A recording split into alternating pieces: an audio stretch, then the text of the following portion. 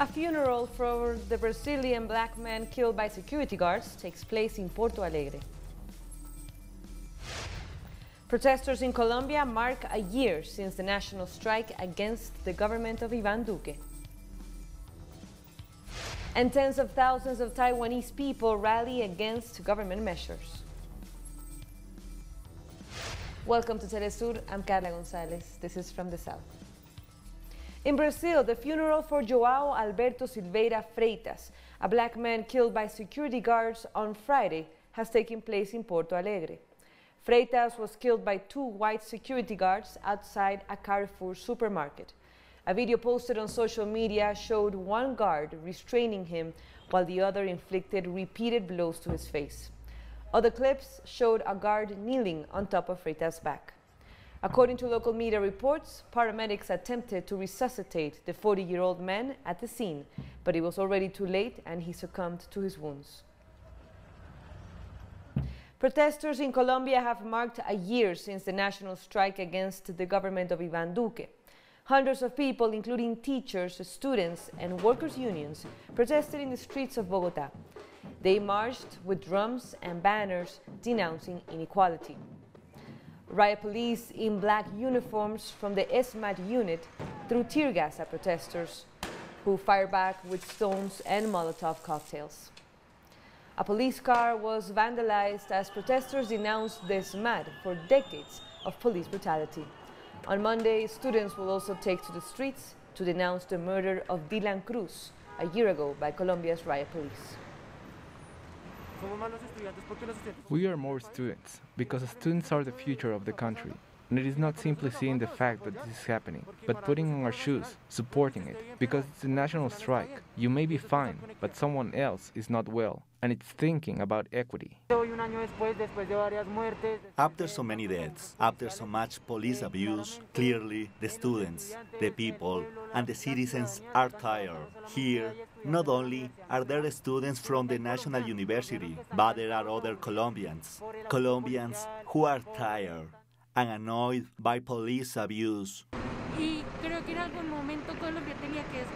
I think that at some point Colombia had to wake up, if it did a year ago and is no longer doing it now. Maybe because of the pandemic. That's fine. But I think that students now, we don't care about that. We care more than a virus or whatever. Seriously, the future of Colombia. Hundreds of Guatemalans have burned down parts of the Congress building to protest the approval of the 2021 budget and demand the resignation of President Alejandro Giammattei. The incident came as about 7,000 people were demonstrating in front of the National Palace in Guatemala City against the budget. Protesters say the budget was negotiated and passed by legislators in secret, while the Central American country was distracted by the fallout of back-to-back -back hurricanes and the COVID-19 pandemic. Among various cuts, Guatemalans were angered because lawmakers approved $65,000 to pay for meals for themselves, but cut funding for coronavirus patients, education, and human rights agencies. Security agents fired tear gas at protesters, and there were people who were injured, carrying the national flag and banners that said no more corruption, Giammattei out, and they messed with the wrong generation. The protesters filled the central square in Guatemala City in front of the old palace. President Giammattei said he had been meeting with various groups to present changes to the budget. I was walking and they grabbed me. I didn't do anything. I have my constitutional right to strike. We are tired. There is no other way to show our repudiation, how fed up we are. We are tired of so much abuse by the authorities. Before the protests turned violent, Guatemala's Vice President Guillermo Castillo urged President Giammattei to resign over his approval of an almost $13 billion budget, the largest in the country's history. Giammattei had not responded publicly to the proposal, and Castillo did not share the president's reaction, but said he would not resign alone. Unfortunately, we had not success in today's meeting, and I would therefore like to make my approach very clear to the President. It is in the country's interest that we both tender our resignations, him as President and I as Vice President of the Republic. But let's do it together. I have made it very clear to the President that things are not right on many government issues and the decisions that have been taken I don't agree with. I have not been consulted on them because of the lack of communication we have with the President. This is also due to a citizen demand. We have been told that things are not as people hope. The Mexican Senate has approved a landmark recreational cannabis legalization bill in a landslide vote. Lawmakers are now rushing to secure final approval before the end of the current congressional session in December. The legislation would let users carry up to 28 grams and grow as many as four plants at home. Sales to adults in authorized businesses would be allowed, provided the product abides by maximum levels of psychoactive ingredients. Lawmakers in favor of the bill said it will also support indigenous communities, as they will no longer have to be part of an illegal cannabis market but the use of cannabis will continue to be banned in public spaces if there are minors, and also in a 500 meter radius of schools, shopping centers, parks, and government buildings. We'll take a short break now. Don't go away.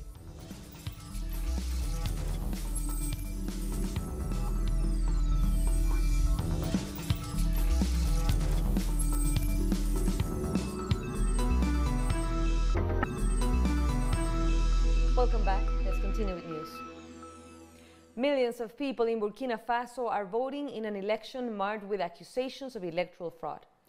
President Roch Marc Christian Kaboré is expected to win re-election. The opposition has threatened to reject the results over what they called a huge operation orchestrated by those in power to carry out massive fraud.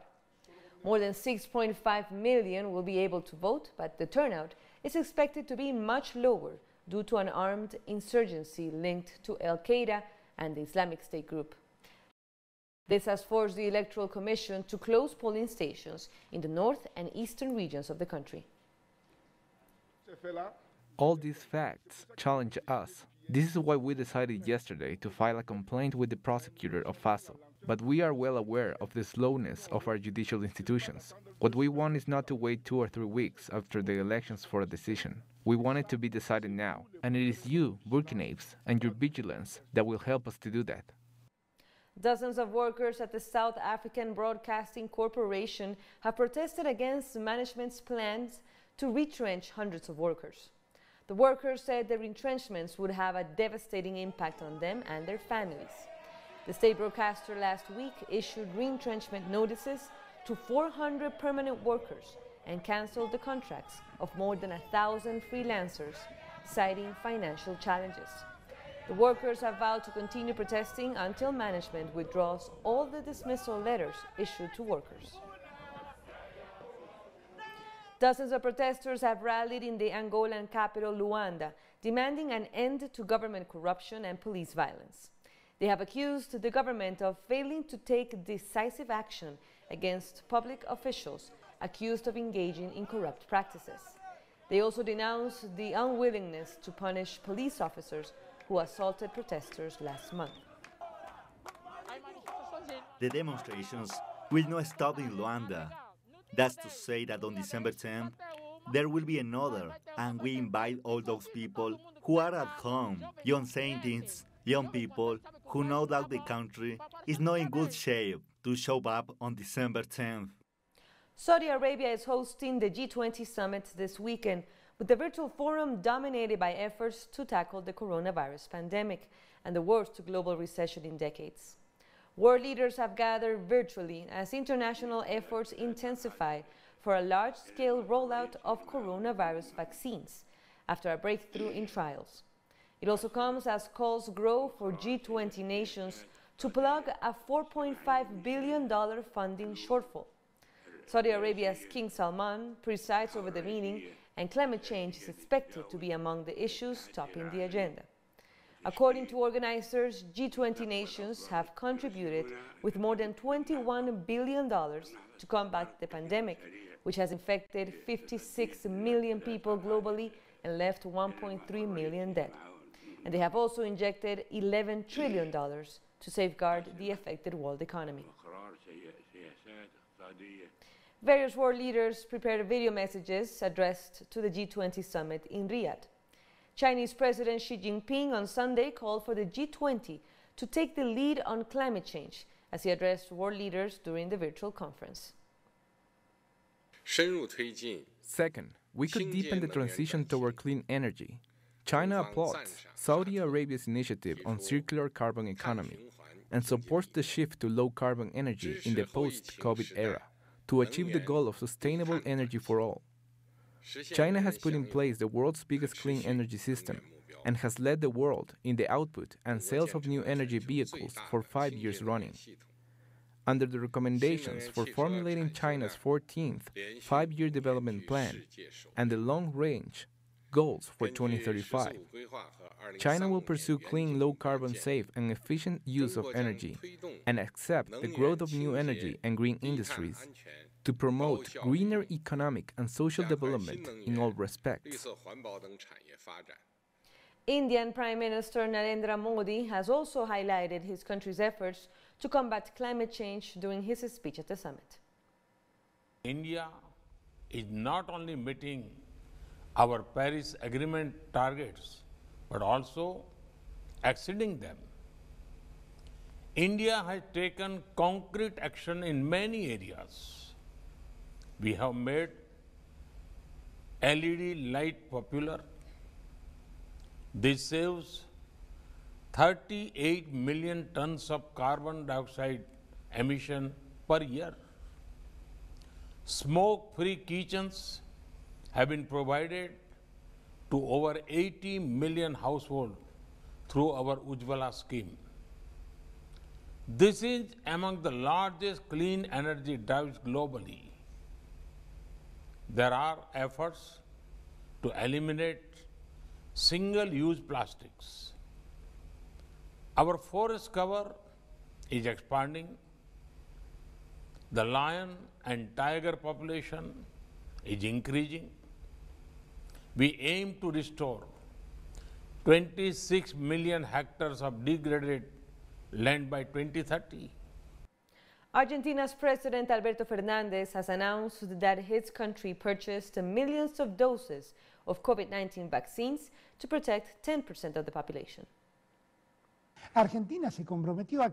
Argentina actively engaged in the COVAX mechanism of the COVID 19 Access Accelerator and has already made the upfront payment for the purchase of 9 million doses of vaccines to cover 10% of the population.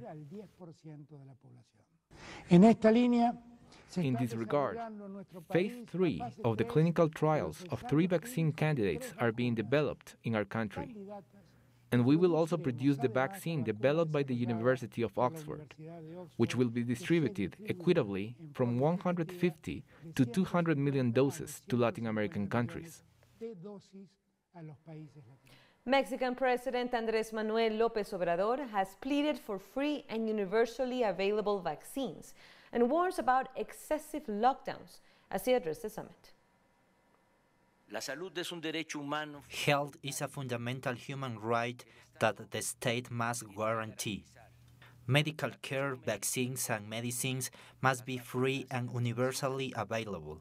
Guarantee freedom in all circumstances and abandon the temptation to impose authoritarian measures such as excessive lockdowns or curfews. The economic rescue must be done from the bottom up first helping the poor. South African President Cyril Ramaphosa called on developed nations to assist African countries to rebuild their economies that were negatively affected by the coronavirus pandemic and low oil prices. We look to the G20, international partners, and the international finance institutions to work with African countries to help them rebuild their economies. The African Union has proposed several measures, including debt relief in the form of interest payment waivers and deferred payments. German Chancellor Angela Merkel has called on G20 leaders to support the World Health Organization and calls for vaccines to be made available and affordable for all countries in order to contain the pandemic. In order to halt the pandemic, every country needs to have access to and be able to afford the vaccine. The funds pledged so far are not enough to achieve this. I therefore appeal to you all to support this important initiative. To this end, we need to sustainably strengthen the World Health Organization. We need reliable funding, better cooperation, greater independence, and the G20 can provide important, indeed crucial support in this area. If we stand together across the globe, we can control and overcome the virus and its impact. It is worth redoubling our efforts to achieve this. We have more stories coming up. Stay with us.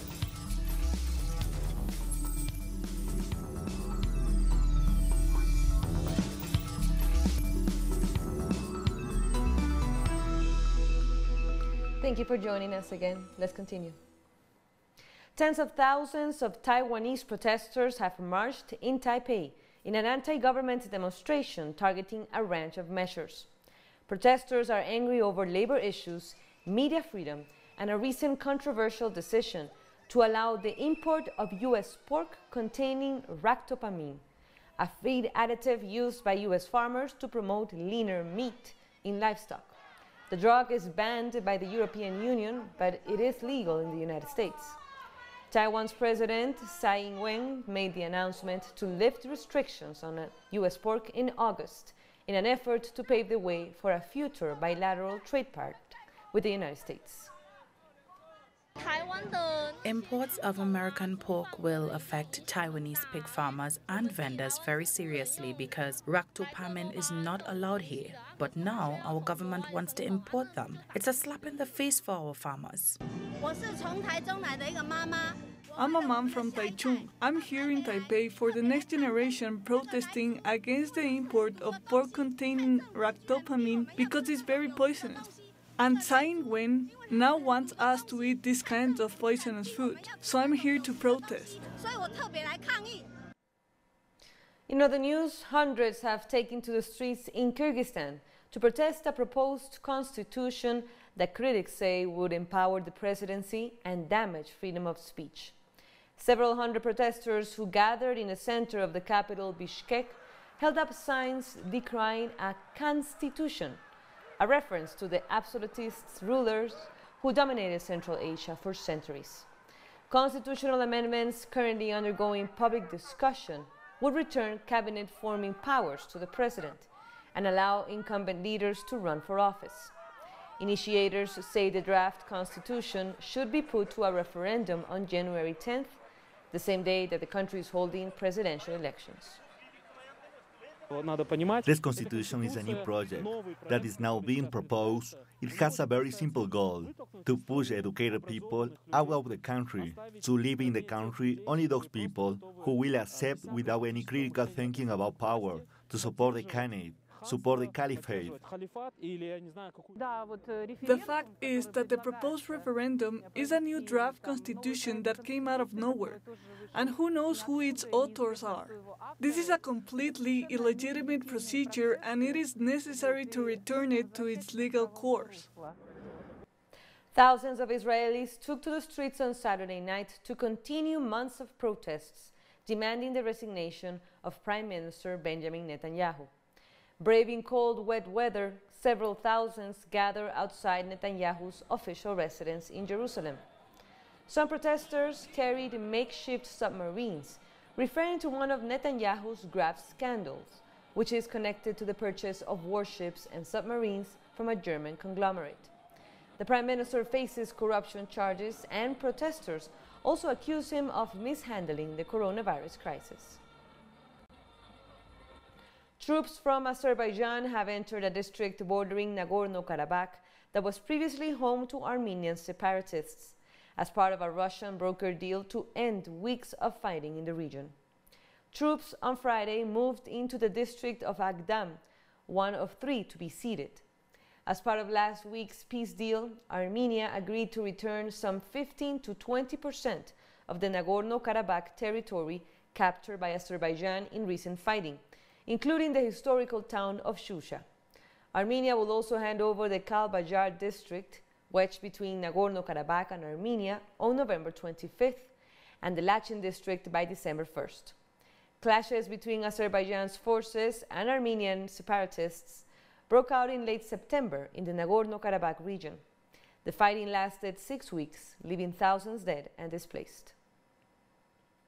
Do you think it's easy to be a martyr? It is difficult. The war is over.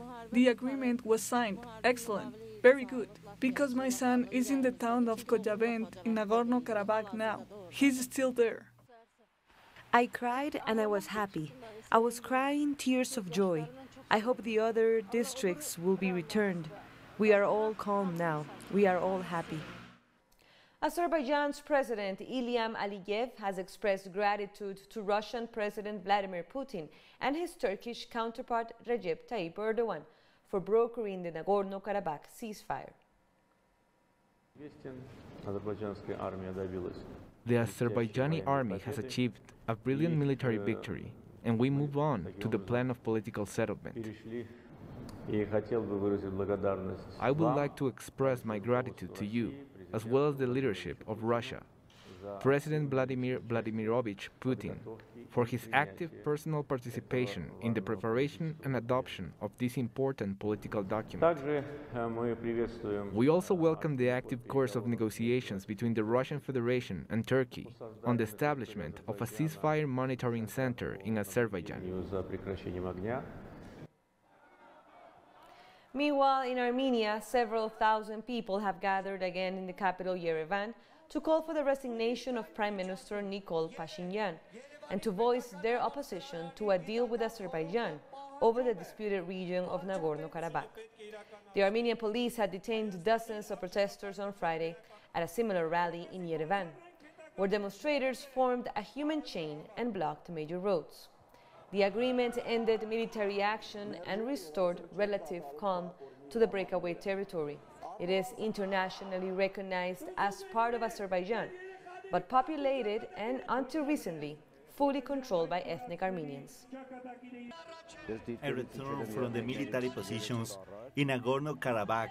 Three days ago, we defended the positions and will defend them to the end. This traitors sold the country. Soon our platoon of the Armenian Revolutionary Federation will return from the Nagorno-Karabakh. Some the pro-Pashinyan keep saying the soldiers are with us. But soon it will become clear who is with whom. Today we gather here to demand the resignation of the traitor Nikol Pashinyan. A commander-in-chief who has been defeated has no right to remain at the helm of the country. In the United States, around 74 endangered sea turtles that became stranded on Cape Cod have been airlifted to rescue centers. Each fall at Cape Cod Bay in Massachusetts, hundreds of endangered sea turtles wash ashore hypothermic from the cold ocean temperatures, leading to the largest sea turtle stranding event in the world. The organization called Turtles Fly Too and its volunteers have loaded up a record-breaking 74 sea turtles to be flown on a single private aircraft to rehabilitation centers along the eastern seaboard. Later, they will be released into the warm waters of the Gulf of Mexico. Most of the turtles are Kemp's ridley, the smallest and most endangered species in the world. You couldn't write a more horrifying script for everybody, really. I mean, this is what, you know, in a good year, we, we could deal with it and you could bring in more people, and now you can't. So now we have to deal with it. Each one of us in our own way has to find the time to recover from being out there, you know, all of the shifts and all of the walking, all of the lifting, and then get ready for the next the next tide and make sure we have the infrastructure and that we're able to move turtles around and, and, and, get that all done. Once you save one, it's, you know, you're just hooked. I mean, I find that the, my fellow volunteers, they'll do just about anything. You know, like, okay, it's five degrees out with a 30 mile an hour wind. Can you go out at 3 a.m.? you know, and they're like, yeah. so it's for the turtles, you know, we love them.